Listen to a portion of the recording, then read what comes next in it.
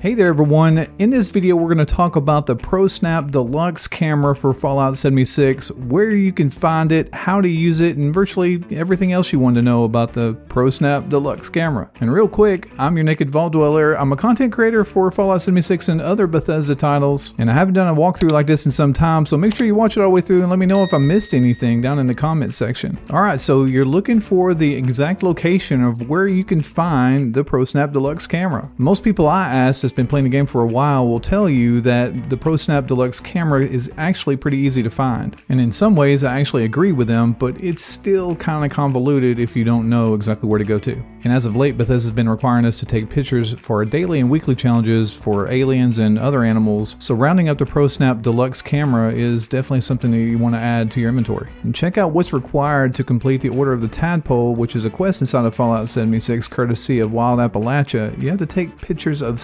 76 six different creatures. But just a little side note here, those creatures don't have to be alive when you take their picture. Just, you know, take their picture. And we'll explain that a little bit later. Okay, so where do we start first, Naked? Well, I'm glad you asked that. You're going to want to open up the Atomic Shop and scroll down to where it says Camp. And in the camp items, you're going to want to find the personal terminal, which should be free. And as you can see on my Atomic Shop, my personal terminal has already been taken, but I was unaware that there was an option inside of this that allowed us to, you know, find the camera. Once you've gotten your free personal terminal, go ahead and open up your camp menu, or if you're not already there, go and travel to your camp, and then you're going to want to place your personal terminal inside your camp. Now, this doesn't have to be super perfect perfect. All you have to do is just place it once and then go in there and access the menus and then you can get rid of it if you want to. In fact, I've probably never used mine. Okay, great. We got a personal terminal place. Let's go ahead and access it and go to automated alerts. The next selection will contain suspicious person, which I thought was pretty interesting considering that the suspicious person is either male or female and they're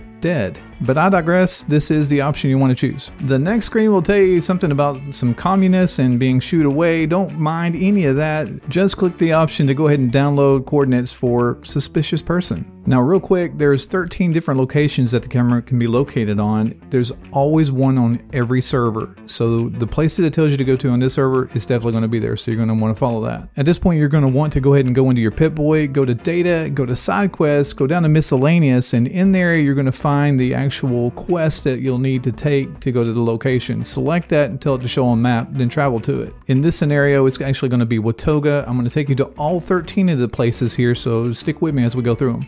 And just remember, we're only trying to collect one broken ProSnap Deluxe camera. This next part is just to show you the different locations it's located in. We're going to go ahead and zoom in here on the map. In fact, let's do that to all of them. And then when you get to Watoga, the body that you're looking for is going to actually be located in front of the Welcome to Watoga sign. The next place we're going to go to is the Beckley Mine Exhibit located in the Ash Heap when you arrive at the Beckley Mine exhibit, you're going to want to work your way into the parking lot where you'll find the dead body perched up against a blue car. Next, let's look over here at Toxic Valley for Wavy Willards Water Park. When you get to Wavy Willards, you're not going to have to go very far into the park to find the dead body. Just check out this car in the middle of the parking lot. Now let's head on over to the forest where we're going to go to the Miners Monument. And just a note, not that it really matters, this is my least favorite place to find the body. But you will find it over here next to the monument on the stairs. Next up, we're going to go to Landview Lighthouse. It's also located in the forest. When you arrive, you can actually see whether or not there's a body atop of the lighthouse just by, you know, looking up there. Or if, you know, you had a camera, you could, you know, zoom into it. Anyway, if this is the place to go, you're going to work your way all the way to the top of the lighthouse, and then when you get outside, just work your way to the right and you'll find the body laying there. And now it's time to go to the Palace of the Winding Path in the Savage Divide. If you fast traveled to the Palace of the Winding Path, this location is actually located behind you in the parking lot, so you kind of have to, you know, double back a little bit. But whenever you get there, you'll see the Palace of the Winding Path in the distance. And back on over here in the forest, we're going to go to Tyler County Fairgrounds. The location of this suspicious person is further into the park. Whenever you get there, head east to get to the rock wall and start working your way over to where there's going to be kind of a stage area. The dead body is going to be sitting or kind of lying in a chair. And now let's go ahead and head on over to the White Springs Resort. When you arrive, you'll find a red car parked right in front of the White Springs Resort, and on top of the red car, you're going to find a suspicious person dead body. Next, we're going to go ahead and pop on over to Colonel Kelly Monument Just kidding, it's Colonel Kelly Monument. Just making sure you guys are paying attention. When you get here, you're going to want to go all the way to the top where the monument is located. There you will find on a bench our suspicious dead person. Now let's pop on over to the giant teapot located in the forest. Everybody loves a giant teapot. When you get to the giant teapot, you're going to want to head over to the picnic tables. And I'm starting to see a pattern here for all these suspicious people. They're all dead, and they're all laying on something.